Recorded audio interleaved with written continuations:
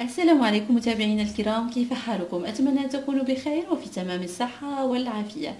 لا تنسوا الاشتراك على قناتكم مفتاح الحياة وتفعيل الجرس حتى تتوصلوا بالفيديوهات الجديدة like للفيديو و share لمشاركته مع غيركم. إذا في فيديو اليوم سنتحدث عن ألم الأسنان.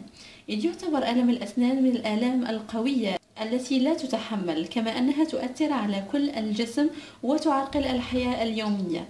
فمن الممكن أن يصبح حادا لدرجة أنه يجعل المزاج سيء جدا كما يمنع من الأكل. ومن أسباب ألم الأسنان أذكر تسوس الأسنان تراكم بقايا الطعام بين الأسنان خاصة إذا كانت هناك فراغات بين الأسنان التهاب جذور الأسنان أو اللثة تعرض الأسنان لضربات أو حوادث. بداية بزوغ الأسنان الجديدة من خلال اللثة كذلك تراجع اللثة حيث يؤدي انكماشها إلى انكشاف الجزء من السن وكذلك في بعض المرات تكسر السن وأيضا الحشوات السنية التي يعني تكون غير ثابتة في مكانها قد تسبب بعض آلام الأسنان. إذا سأقدم إليكم علاجات يمكن أن تساعدكم في التخلص والتخفيف من آلام الأسنان دون زيارة الطبيب. إذا العلاج الأول.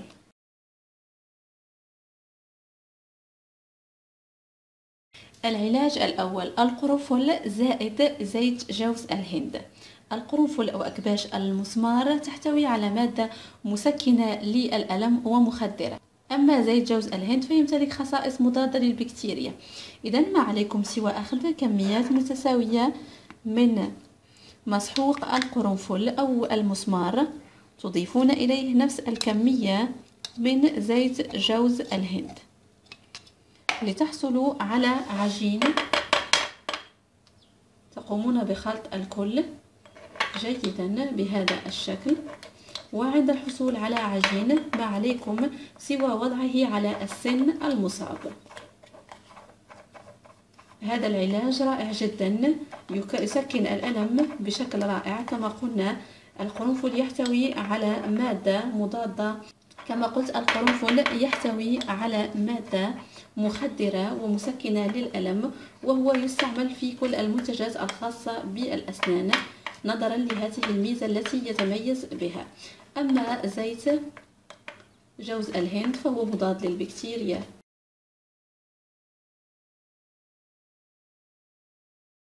العلاج الثاني الزنجبيل. ما عليكم سوى أخذ قطعة صغيرة من الزنجبيل الطازج واستعمالها كعلاج لألم الأسنان وستشعرون بتحسن كبير. توضع على السن المصاب.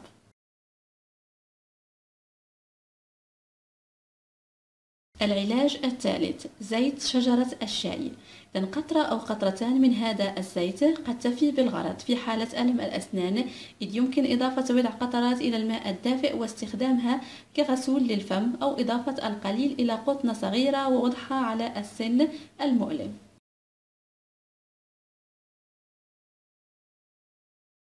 العلاج الرابع الماء الدافئ الممزوج بالملح.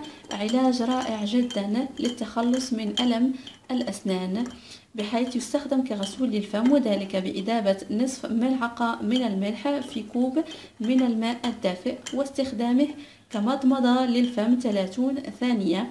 هذا المزيج يعطي مفعول جيد جدا فهو معقم وفي نفس الوقت يقضي على ألم الأسنان.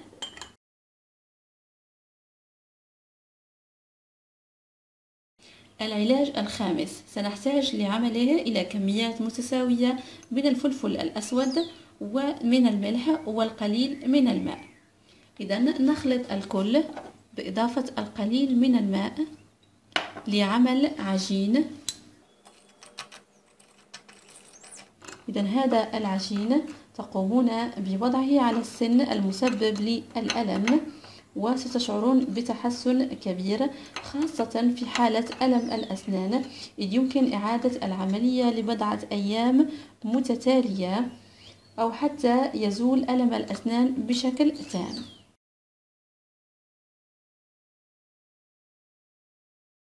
العلاج السادس أوراق النعناع. أوراق النعناع الطازجة ممتازة جدا في علاج ألم الأسنان كما أنها تعطي شعورا مريحا جدا. يمكنكم استعمال حتى النعناع المجفف إن كنتم لا تتوفرون على نعناع طازج. يكفي استخدامها بمجرد أن تشعروا بالألم واتركوها في الفم لتعطي مفعولها. وللوقاية من ألم الأسنان يجب التقليل من الأطعمة والأشربة الغنية بالسكر لأن السكر يبقى على الأسنان ويتحول إلى حمض وبالتالي يقوم بتفتيت السن وبمهاجمته وبالتالي تعانون من التسوس وهذا يؤدي للألم. أيضا يجب تنظيف الأسنان بشكل يومي كما يجب تنظيف اللثة واللسان مع مراعاة تنظيفهما بلطف. إذا احرصوا على تنظيف أسنانكم بعد كل وجبة حتى تتخلصوا من الطعام. أيضا يجب التنظيف بين الأسنان وهذا أمر هام جدا بخيط الأسنان واستخدام غسول للفم.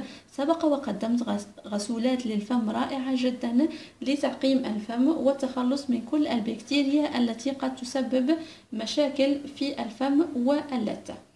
أيضا يجب الامتناع عن التدخين. نعرف أن التدخين يضر بالصحة وأيضا يضر بصحة الفم والأسنان بحيث يدمر اللثة يقضي على الأسنان ويعطي رائحة كريهة للفم. إذا احرصوا على الابتعاد عن التدخين حتى لا تصابوا بألم الأسنان. وعند ظهور أعراض من قبيل الإحساس بألم حاد في الأسنان والممتد لأيام أو في حال إحساسكم بارتفاع في درجة الحرارة أو ألم في الأذن أو عند فتح الفم فعندها يجب زيارة الطبيب للحصول على تشخيص صحيح للتعرف على سبب الألم الحقيقي وبالتالي علاجه بشكل تام. إذا أتمنى أن أكون قد أفدتكم بهذه الحلول الخاصة بالتخلص أو التقليل إلى حد ما من ألم الأسنان. إن كان لديكم أي استفسار أو تريدون المزيد من الشروحات لا تترددوا في ترك تعليق. أيضا تجدون على القناة وصفات سبق وقدمتها سواء كما قلت غسولات للفم أو لتبييض الأسنان. هي رائعة جدا وتعطي مفعول أكثر أكثر من رائع لتبييض الأسنان للتخلص من الرائحة الكريهة أيضا والعناية بصحة الفم. والأسنان. وإن كان لديكم أي استفسار أو تريدون المزيد من الشروحات لا تترددوا في ترك تعليق.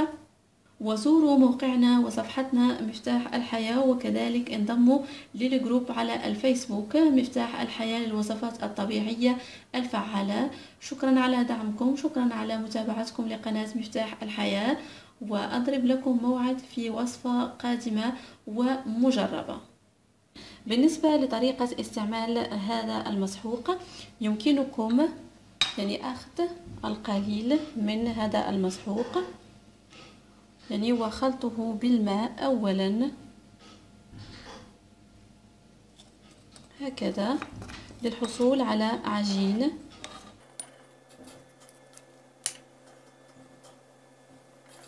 إذن هكذا يمكنكم كما قلت اعتماد هذه الطريقة وبعد ذلك تأخذون القليل بالفرشاة. أنا وضعت القليل فقط كما ترون.